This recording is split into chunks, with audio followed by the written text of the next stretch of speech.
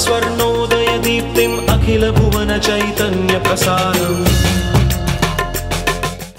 నమస్కారం మన ధర్మం కార్యక్రమానికి స్వాగతం ఇవాళ మన ధర్మం కార్యక్రమంలో మన ధర్మ సందేహాలను నివృత్తి చేసేందుకు మనతో పాటు ఉన్నారు ప్రముఖ ధర్మశాస్త్ర నిపుణులు బ్రహ్మశ్రీ డాక్టర్ కాకినాడ సూర్యనారాయణమూర్తి గారు గురుగారు నమస్కారం. నమస్కారం అమ్మా. గురుగారు ఇవాళ మన ధర్మం కార్యక్రమంలో మా మొదటి ధర్మ సందేహం ఏంటంటే అమావాస్య తిథి శుక్రవారంతో కలిసి వస్తే ఆ రోజుకున్నటువంటి ప్రత్యేకత ఏమిటి?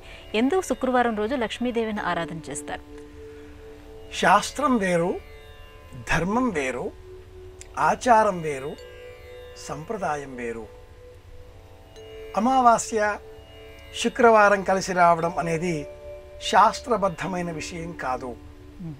ఆచారంలో వచ్చిన సంప్రదాయంతో కూడుకున్న విషయం అవుతున్నది. అమావాస్య నాడు జన్మించిన వ్యక్తుల స్వరూపాలు ఎలా ఉంటాయి? అది జ్యోతిషంలో తిథి అనే ప్రకరణంలో మనం గమనించవచ్చు. అలాగే శుక్రవారం నాడు జన్మించిన వారి గుణగణాలు రూపురేఖలు ఎలా ఉంటాయి అనేది కూడా జ్యోతిషమే వివరిస్తుంది. ఈ రెండింటి కలయికలో సమాజంలో మహిళలు పురుషులు అంటే బాలికలు బాలురు ఇలా జన్మించినప్పుడు సామాజిక అవసరాల దృష్ట్యా ఇలా ఈ సమయంలో శుక్రవారం అమావాస్య కలిసి ఉన్న రోజున అమ్మాయి జన్మిస్తే సాక్షాత్తు మహాలక్ష్మి అనేటటువంటి ఆచార విధానంలో ఒక ప్రామాణికమైన సూత్రంగా శాస్త్రం అన్న పేరిట సంప్రదాయం మనకు అందించింది. శాస్త్రంలో మట్టుకు జ్యోతిషం ఒక శాస్త్రం కనుక ఆ శాస్త్రాన్ని పరిశీలన చేస్తే అమావాస్య లక్షణాలు శుక్రవారం లక్షణాలు వేరే. ఆ రెండింటినీ కలిపి సామాజిక అవసరాలతో ఆచారం సంప్రదాయం మహిళలను కాపాడాలి అనే ఉద్దేశంతో అమావాస్య నాడు శుక్రవారం నాడు ఇంట్లో అమ్మాయి పుట్టిందా? మహాలక్ష్మి జన్మించింది అంటూ వివరిస్తుంది. లక్ష్మీ జయంతి పౌర్ణమి నాడు చేస్తూ ఉంటాం. అమావాస్య నాడు డబ్బును పూజిస్తే ఆ డబ్బు ఇతోధికంగా పెరుగుతుంది. భారతంలో కూడా ఇలాంటి అంశాలు ఉన్నాయి అంటూ లౌకికంగా కొన్ని కథలు అల్లి గుజరాత్ తదితర ఉత్తర భారతదేశ రాష్ట్రాలలో దీపావళి అమావాస్య. లక్ష్మీదేవిని పూజిస్తే డబ్బులు వస్తాయి అమావాస్య నాడు పూజిస్తే సంపద కలుగుతుంది అంటూ వివరించడంతో అమావాస్య నాడు లక్ష్మీదేవి పూజ అమావాస్య నాడు శుక్రవారం నాడు కలిసి వస్తే ఇంకా విశేషంగా శ్రీర్మే భజతు హిరణ్యవర్ణాం హరిణీం సువర్ణలిత సృజాం కమలే కమలాలయే ప్రసీద ప్రసీద. అమ్మవారిని కమలం పుష్పాలతో పూజిద్దాం. కమలాలతో సేవిద్దాం. కమలాలతో మాలికలు సిద్ధం చేసి పుష్పమాలికలు అలంకరిద్దాం. అమ్మవారి విఘ్నం పొందుదాం. ఇవన్నీ కూడా సంప్రదాయం ద్వారా ఆచారం ద్వారా ప్రబలినవే కానీ శాస్త్ర ప్రమాణాలు కావు. శాస్త్రంలో ఏ వారానికి ఆ వారం ఏ తిథికి ఆ తిథి ప్రత్యేకం. లక్ష్మీదేవిని ఆరాధన చేసే క్రమంలో పటం రూపంలో ఉండే అమ్మవారి రూపం కాకుండా ఇల్లాలు చెల్లెలు కూతురు తల్లి ఇంట్లో ఉండే ప్రతి మహిళ స్త్రీ స్వరూపంలో అమ్మను చూడగలిగితే నిజమైన లక్ష్మీదేవి అనుగ్రహం అప్పుడు కలుగుతుంది. ఇంటిని లక్ష్మీదేవిగా చూడాలి సంతానాన్ని లక్ష్మీప్రదంగా చూడాలి ధాన్యాన్ని వ్రాసే కాగితాన్ని సైతం సమస్తాన్ని లక్ష్మీ స్వరూపంగా చూడగలగాలి. చూచే దృక్కులోనే చూపులోనే లక్ష్మీదేవి అనుగ్రహం ఉంటుంది. ఇది శాస్త్ర ప్రమాణం. గురుగారు మనిషిని పోలిన మనుషులు ఏడుగురు ఉంటారని చెప్తూ ఉంటారు. ఇది నిజమేనా? ఇందులో ఉన్నటువంటి అంతరార్థం ఏంటి? ఇది నిజం కాదమ్మాయి. శాస్త్రము ఒప్పుకోదు సైన్స్ అంతకంటే ఒప్పుకోదు. ధర్మశాస్త్రాన్ని అనుసరించి మనిషిని బోలిన మనుషులు ఉంటారా? మనుషులందరూ కూడా సమానమే. కానీ అదే విధమైన రూపురేఖలతో ఎవరూ ఉండరు. దరిదాపులలో పోలికలతో చూపులు లేదా అవయవాదుల చాలనలు లేదా భాష లేదా ఆహార విహారాలు ఇలా కొన్నింటితో సామ్యం చూపి మనం నిరూపించే ప్రయత్నం చేస్తాం కానీ ఒక వ్యక్తిని పోలిన వ్యక్తి పోలిన వ్యక్తి ఉండవచ్చు. దాదాపులో ఉండవచ్చు దరిదాపుల్లో ఉండవచ్చు కానీ సరిసమానంగా మట్టుకు ఉండరు ఉండరు ఉండరు. కానీ ఏడుగురుంటారు అని మాట ఎలా వచ్చింది? సఖా సప్తపదాభవ సఖాయౌ సప్తపదాపభువ సక్ష్యంతే గమే జగం సక్ష్యాత్తే మాయోషగం సక్ష్యం సాప్తపదీనం అని లోక ప్రమాణం ఏడు జన్మలు ఇద్దరు వ్యక్తులు కలిసి జీవిస్తారు. మరణించే సమయంలో చివరి ప్రయాణం కూడా ఏడు కట్టెలతో సిద్ధమవుతుంది.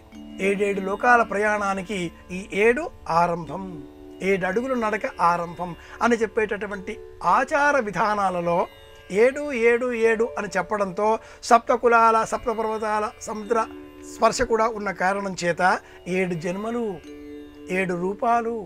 గత జన్మలో ఇతడే నా భర్త ఈవిడే మా ఇల్లాలు. ఇలా ఏడేడు జన్మలలో అనే ఆలోచనలతో ఒక వ్యక్తిని పోలిన వ్యక్తి ఏడుగురుంటారు అనే ప్రమాణం లోకంలో ఒక ఆచారంగా మాట వరుసకే వచ్చింది కానీ twenty three sets of genes కారణంగా దేహంలో ఏర్పడేటటువంటి అణుచలనాది వ్యవస్థల కారణంగా ఏర్పడే దేహం ఒక వ్యక్తికి మరో వ్యక్తికి రూపం ఉండదు. బొటనవేలు ఎలా ఇద్దరికీ సమానంగా ఉండదో అదేవిధంగా ఒడోర్ అంటాం వాసన. ఒక వ్యక్తికి సంబంధించిన వాసన మరో వ్యక్తికి సంబంధించిన వాసనగా కూడా సేమ్ టు సేమ్ ఒకే విధంగా ఉండదు అని శాస్త్రం కూడా నిరూపించింది. సనాతన ధర్మం ఏనాడో ఈ విషయం తెలుసుకున్నది కనుకనే ఎవరికి వారు యమునా తీరి అన్న మాటగా కూడా తెలుగు వారింట ఒక సామెతగా కూడా చెప్పారు. ఏడుగురు అన్న మాట అబద్ధం తల్లి. అది కథలలో అందంగా చెప్పుకునే అంశమే అవుతుంది. కవలలు కూడా అనే మాట చెప్పి ఇద్దరుంటారు కదా అనే ప్రశ్న కూడా వేస్తుంటారు. కవలలలో కూడా భిన్నమైన రూపురేఖలు భిన్న గుణగణాలు అనేక సందర్భాలలో మనం గమనిస్తాం. సేమ్ టు సేమ్ ఉంటారు. స్వభావాలు వేరుగా ఉంటాయి. స్వభావాలు దరిదాపుల్లో ఉండగా రూపురేఖలు భిన్నంగా ఉంటాయి. అలా ఎప్పుడూ ఉండదు. మనం ప్రయత్నం చేసి అదేదో గొర్రె పొట్టేలు డాల్బీ అన్న పేరిట సృష్టిస్తే ఈ ప్రక్రియలు సమాజానికి నష్టం కలిగిస్తాయి అంటూ సైన్సే నిరోధించింది. ఇది వాస్తవం. గురుగారు ఇక మరో సందేహం. ఇంటి సింహద్వారం పైన బూడిద గుమ్మడికాయను వేలాడదీస్తూ ఉంటారు కదా. ఇందులో ఉన్నటువంటి అంతరార్థం ఏమిటి? దృష్టి దోష నివారణకి ఇది ఎంతవరకు ఉపకరిస్తుంది? నరుడి దృష్టికి నాపరాయి అయినా పలుకుతుంది అని ఒక సామెత. అంతా చూపులలోనే చూడ్డంలోనే ఉంది అంటారు పెద్దలు. సినిమా పాటలలో కూడా చూపుల్లో గుచ్చి అనే పాట కూడా మనం వింటూ ఉంటాం. ఇది ధర్మం మన ధర్మం శాస్త్రం కనుక చూచే చూపుకి ఎంత శక్తి ఉంది? శాస్త్రం ఏం చెబుతుంది అంటే తదేక దీక్షతో ఒక గ్లాసులో ఉన్న నీటిని ఇలాగా అని చూస్తే ఆ గ్లాసులో ఉండేటటువంటి ఆ నీటి బిందువుల మధ్యన ఉండే అణుబిందువుల వ్యవస్థ చిన్నాభిన్నమైనట్లుగా సైన్స్ నిరూపించింది. చూచే చూపు ద్వారా ఒక బండని కూడా పగలగొట్టవచ్చు. కంటిలో కలికము అంటే సింహముతో లభించేటటువంటి మయము అలాగే సింహ పంచితము మరికొన్ని తాంత్రిక పరమైనటువంటి వస్తువులను మేళవించి కంటిలో నిర్ణీత సమయంలో వేసినట్లయితే ఆ కంటికి ఎదుటి వ్యక్తిని ఎదుటి సందర్భాన్ని ఎదుటి దృశ్యాన్ని ఎదుటి వస్తువును దహనం చేసేంత శక్తి వస్తుంది అని కూడా తంత్రశాస్త్రం చెబుతుంది. అది కలవాడు కాబట్టి ఆయన మహాదేవుడు శివుడు అయ్యాడు అని కూడా తంత్రశాస్త్రం చెబుతుంది. అలాంటప్పుడు చూచే చూపుకు ఇంత శక్తి ఉంది అని తెలిసినటువంటి సనాతన సంప్రదాయం మన ఇల్లు చాలా బాగా కట్టుకున్నాం. ఇంటికి ఎవరో వచ్చారు. వచ్చిన వ్యక్తి ఇంత బాగా కట్టాడా? అని చూసేసరికి ఆ ఇంటికి ఎక్కడో ఒక చోట ఏదో కొంత నష్టం వాటిల్లుతుంది. ఒక చీర కట్టుకున్నాం. ఎదుటి వ్యక్తి ఆ చీరను చూసి ఇంత బాగా కట్టిందా? అనగానే ఆ చీరకు ఎక్కడో ఒక చోట చిన్న మరిక మాసిక చినుగు పట్టగా ఎవరు చూచారో ఏ కంటి దృష్టి సోకిందో అని మనమే అనుకుంటూ ఉంటాం. పడకూడదమ్మా పాపాయి పైన పాపిష్టి కళ్ళు కోపిష్టి కళ్ళు అంటాడు ఒక సినీ కవి. కనుక కంటి చూపుకు ఇంత శక్తి ఉంది కాబట్టే సంప్రదాయం ప్రధాన ద్వారానికి వెలుపల గుర్రం నాడ నువ్వులు జీడిగింజ నిమ్మకాయ పచ్చిమిరపకాయలు బూడిద గుమ్మడికాయ కొబ్బరికాయ ఎరుపు వస్త్రంలో వేలాడదీసి ఇలా వివిధములైన వస్తువులను దృష్టి తొలగించే నిమిత్తమై ప్రధాన ద్వారానికి గుమ్మం వెలపల ఇంటిలోనికి వచ్చే వారికి కన్ను చూపు పడే విధంగా ఏర్పాటు చేయాలి అంటూ తెలియజేసింది. బూడిద గుమ్మడికాయ శని స్వభావానికి దగ్గరగా ఉంటుంది. రుచి బూడిద వర్ణము రాహువు కేతువు స్వభావానికి దగ్గరగా ఉండడంతో చంచలమైన విషతుల్యమైన అపసవ్యమైనటువంటి దృష్టి దోషాలన్నీ కూడా రాహుకారకంగా కేతువుకారకంగా ఆ గుమ్మడికాయకు చేరాలి అనేటటువంటి ఉద్దేశ్యంతో గుమ్మడికాయను ప్రధాన ద్వారానికి వెలుపల దృష్టి దోష నివారణార్థమై వేలాడదీస్తారు. చండీ హోమం శతచండీ హోమం అయుత చండీ హోమం ఇలా వివిధ రూపాలతో చండీ హోమాలు చేసే సమయంలో కూడా లఘు పూర్ణాహుతి మహాపూర్ణాహుతి పూర్ణాహుతి సమర్పించేటటువంటి సమయంలో కూడా బూడిద గుమ్మడికాయనే పూర్ణాహుతి ముత్తమాం జ్యోతి సర్వం వై పూర్ణాహుతి అందులో అగ్నిహోత్రుడికి సమర్పిస్తారు. శరీరానికి శిరస్సుకు ప్రతీక ఈ గుమ్మడికాయ. చూచే వ్యక్తి చూపు ఆ గుమ్మడికాయను పడడంతో ఆ దృష్టిలో ఉండేటటువంటి చెడు అంతా కూడా గుమ్మడికాయలో చేరుతుంది. స్వచ్ఛమైన దృష్టితో ఆ వ్యక్తి ఇంటిలోనికి వస్తాడు. ఇది విశ్వాసం సంప్రదాయం. ఆచారాలు విశ్వాసాలు సంప్రదాయాలని శాస్త్రబద్ధంగా సూచించింది సనాతన ధర్మం. ఇది విశేషం. గురువుగారు బాలవాక్కు బ్రహ్మవాక్కు అని ఎందుకు అంటారు ఎందుకంటారంటే అమ్మాయి సంస్కృత సాహిత్యంలో ఒక మాట ఉంది. బాలాదపి సుభాషితం. అది ఆ మాట. చిన్నపిల్లలు దైవ స్వరూపాలు. వారికి కల్మషం తెలియదు. అసూయ మాత్సర్యం స్వార్థం తెలియవు. నీది నాది అనే ఆలోచన కూడా వారికి తెలియదు. మంచి ఉంటే మంచి అని అంటారు. బాగోలేకపోతే అబ్బే బాగోలేదండి అని కూడా చెప్పేస్తారు. నటించడం చిన్నారి బాలబాలికలకు తెలియదు. కనుక బాలవాక్కు బ్రహ్మవాక్కు అన్నారు. బ్రహ్మవాక్కు అనగానే యథాతథంగా అవుతుంది అనే విశ్వాసం వచ్చి చేరుతుంది. నిష్కల్మషమైన మనస్సుతో ఎవరైనా ఎవరినైనా చూచి మీరు బాగున్నారండి అనో మీకు బాగుండాలి అనో అంటే మనం ఎంత సంతోషంతో పొంగిపోతామో చిన్నారి బాలబాలికల మనస్సులో కూడా ఏ కల్మషము ఉండదు. అచ్చమైన స్వచ్ఛమైన మనస్సుతో కడిగిన అద్దం వలె పులు కడిగిన ముత్యం వలె ఆ పిల్లలు చిరునవ్వులు చిందిస్తూ మీరు బాగున్నారండి ఇది చాలా బాగుంది. మనం బయటికి వెళదామా? అక్కడికి వెళదామా? ఇది చూద్దామా? మనం సంతోషంతో పొంగిపోతాం. కనుక బాలవాక్కు బ్రహ్మవాక్కు. బ్రహ్మవాక్కులో ఒకటి అవుతుంది అనే విశ్వాసం రెండు సత్య నిరూపణ అన్న నమ్మకం. ఈ రెండింటి కారణంగానే బాలాదపి సుభాషితం అనే వాక్కు సంసిద్ధమైంది. అలాగే గణిత శాస్త్రం జ్యోతిష శాస్త్రం. ఈ రెండింటినీ మనం గమనించినప్పుడు బాల జ్యోతిషం వృద్ధ వైద్యం అనే సూత్రం కూడా చెప్పుకోవాలి. ఇది సుప్రసిద్ధమైనటువంటి జ్యోతిష శాస్త్రపరమైనటువంటి చర్చలలో పలువురు పెద్దలు వినియోగించేటటువంటి మాట. బాల జ్యోతిషం వృద్ధ వైద్యం. బాలురు నిష్కల్మషమైన మనసుతో ఉంటారు. గణిత శాస్త్రంలో మహావేగంగా లెక్కలు కట్టవారై ఉంటారు. కనుక వారు ఇలా జరగబోతుంది అలా జరుగుతుంది అవుతుంది అంటారు. అక్కడ స్వచ్ఛదనం అచ్చమైనటువంటి అమాయకత్వం గణిత విజ్ఞానం బాలవాక్కు. రెండవ మాట వృద్ధ వైద్యం.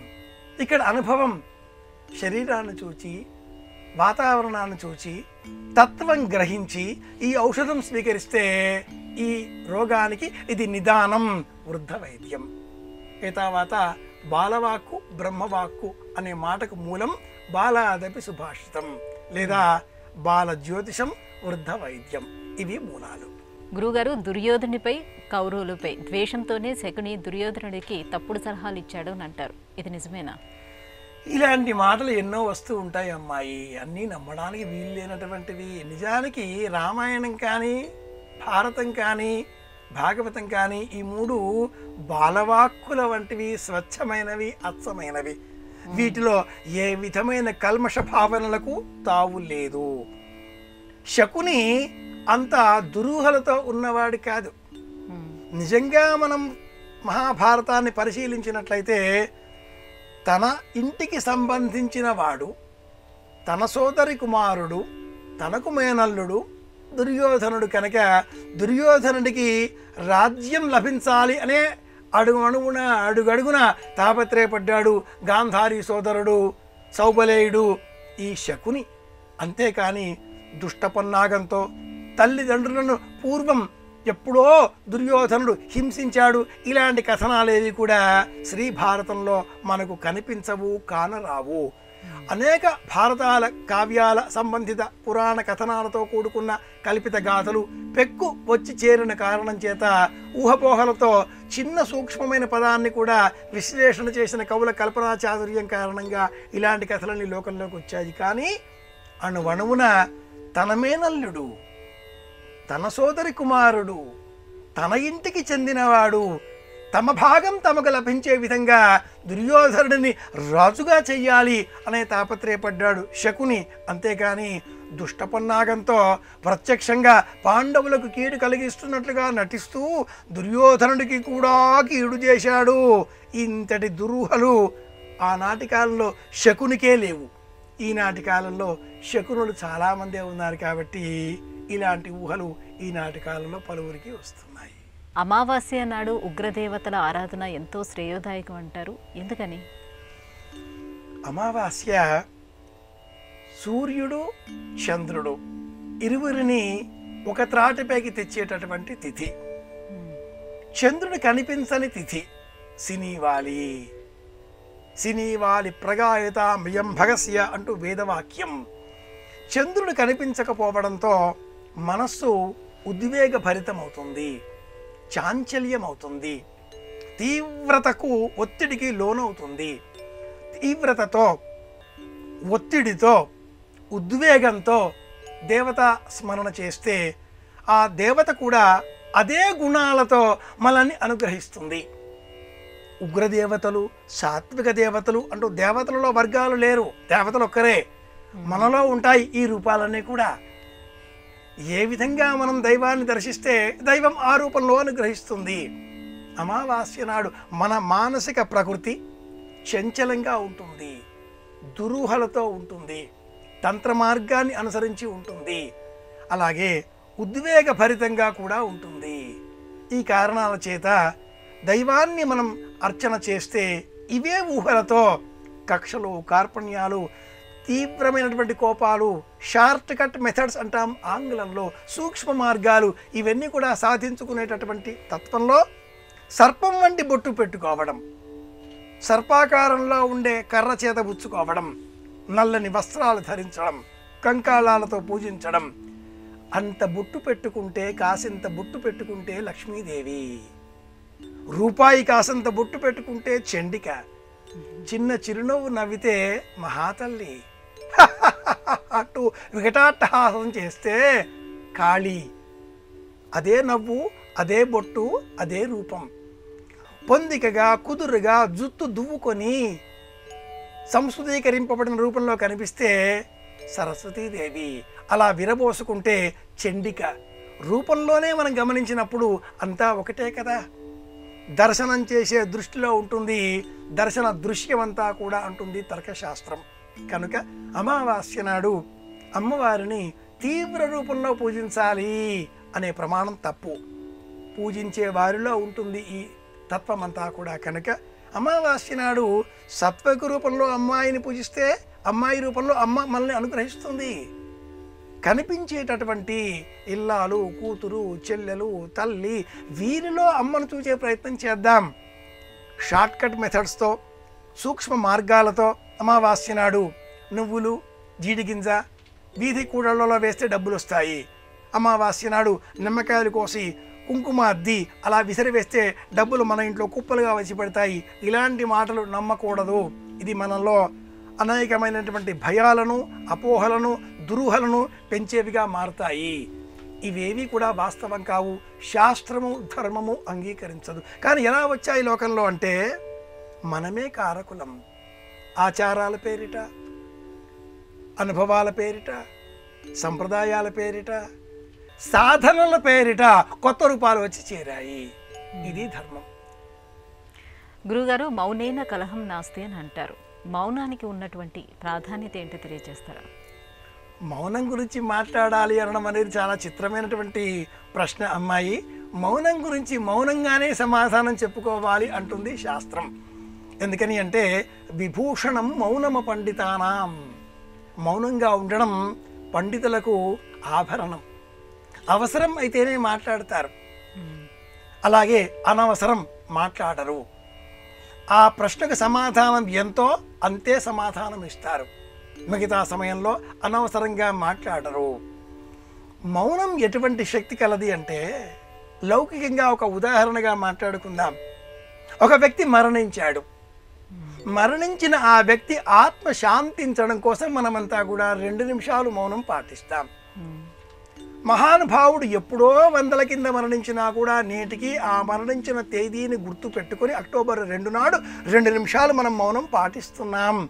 ఆత్మశాంతి కోసం అనే అంశాన్ని పరిశీలన చేస్తే మౌనం వల్ల మరణించిన వారి ఆత్మ శాంతిస్తుంది. ఇంటిలో కూడా భార్యాభర్త మాట మాట పెరిగినప్పుడు ఒకరు మౌనం వహిస్తే రెండవ వారు శాంతిస్తారు. మాటకు మాట తెగులు కదా? ఇద్దరూ మాట్లాడుకుంటూ ఉంటే ఆ గొడవ చిలికి చిలికి గాలివాన అన్నట్టుగా బయటి దాకా ప్రయాణిస్తుంది కదా? కనుక మౌనానికి బలం ఎక్కువ. పూర్వం భోజకాళిదాస కథలలో ఒక కథ. ఒకానొక అర్చన చేసే వ్యక్తి ఒక ఆలయంలో ఉండేటటువంటి బీదవాడు. కాళిదాసును ఆశ్రయించాడు. ఏదైనా రాజాశ్రయం ద్వారా మాకేదైనా ఇప్పించగలరా అని.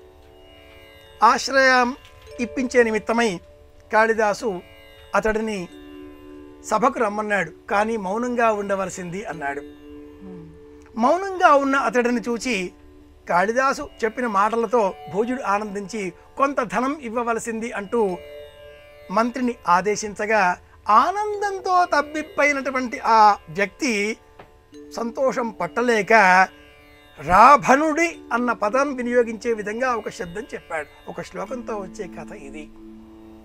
రాభణ అన్న పదం అనగానే భోజనకు అనుమానం వేసింది. ఇదేమిటి అని సమర్థించే శక్తి గల కాళిదాసు వెంటనే సమర్థించాడు. విభీషణులలో భకారం ఉంది. రాముడు ఆదరించాడు. కుంభకర్ణుడిలో భకారం ఉంది. అంతం చేసి కైవల్యాన్ని అనుగ్రహించాడు. రావణుడిలో భకారం లేదు కనుక ఇలా ససైన్యంగా అంతమొందించాడు అంటూ సందర్భోచితంగా కాళిదాసు యుక్తియుక్తంగా ఆ సందర్భాన్ని సవరించగలిగాడు. కనుక మౌనానికి అపురూపమైన బలం ఉంది. ముని అంటే మౌనవ్రతాన్ని అనుసరించే వ్యక్తి అని అర్థం. మనం తపస్సంపన్నులు నిష్ఠాగరిష్ఠులు లేక మహర్షులు అని కొందరిని సంబోధిస్తూ ఉంటాం. ఈ సంబోధించే క్రమంలో మొదటి మెట్టు ముని. మౌనంగా ఉండాలి. మౌనంగా ఉంటే మనోబలం పెరుగుతుంది. ఒక మాట చెప్తానమ్మాయి ముందు గదిలో మౌనంగా భర్త దినపత్రిక చదువుతూ ఉండగా వంటగదిలో ఇల్లాలు అష్టోత్తర శతనామావళి చదువుతుంది. చెబితే వినడు అర్థం చేసుకోడు. పిల్లలేం చదువుతున్నాడో చూడమంటే చూడడు కరెంటు బిల్లు కట్టమంటే కట్టడు ఇంటి బిల్లు కట్టారా అంటే సమాధానం ఇవ్వడు. చీరలు పాడయ్యాయండి కొత్తవి కొనండి అంటే చెప్పడు తీసుకురాడు. ఇలా ఆవిడ అష్టోత్తర శతనామావిడి చదువుతూ ఉండగా మౌనంగా ఉన్న ఆ భర్త వింటున్నానో వింటున్నానో లేస్తే మనిషిని కాను అన్నాడు. ఆవిడ ఇప్పుడు మాత్రం అంది. ఛీ నేను మూర్ఖులతో మాట్లాడను అన్నాడు. నేను మాట్లాడతానండి కాఫీ తీసుకోండి అంది ఆవిడ. మౌనానికి ఉండే బలాన్ని మనం ఇలా బేరీజు వేసుకుంటే తమాషాగానైనా. ఒక్క విషయం గుర్తుపెట్టుకుందాం. యథాశక్తి. రోజువారీ కార్యక్రమాలలో కాసేపైనా మౌన వ్రతం పాటిద్దాం. కొసమెరుపుగా ఒక వాక్యం చెబుతుంటే వింటుంటే అనలేం? అంటుంటే వినలేం. మౌనంగా వింటే మాత్రమే అన్నీ వినగలుగుతాం. విన్నవారికి మౌనంగా ఉన్నవారికి అనేవారు చెప్పే విషయము అవగతమవుతుంది. తమ వద్ద ఉన్న విషయం కూడా జతపరచబడడంతో రెట్టించిన జ్ఞానంతో అవసరమైతే మాట్లాడతారు లేకపోతే మౌన వ్రతాన్ని పాటిస్తారు. మౌనమే బలం. గురుగారు ఇవాళ మన ధర్మం కార్యక్రమంలో మాకు వచ్చినటువంటి ఈ ధర్మ సందేహాలన్నీ కూడా నివృత్తి చేసినందుకు ధన్యవాదాలండి. కృష్ణార్పణం. ఇది ఇవాటి మన ధర్మం కార్యక్రమం. రేపటి మన ధర్మం కార్యక్రమంలో మళ్ళీ కలుసుకుందాం. నమస్కారం. ఈ కార్యక్రమాన్ని తిరిగి చూడాలనుకుంటే డబ్ల్యూడబ్ల్యూడబ్ల్యూ dot YouTube dot com slash at the rate ETV Life స్పిరిచువల్లో చూడవచ్చు.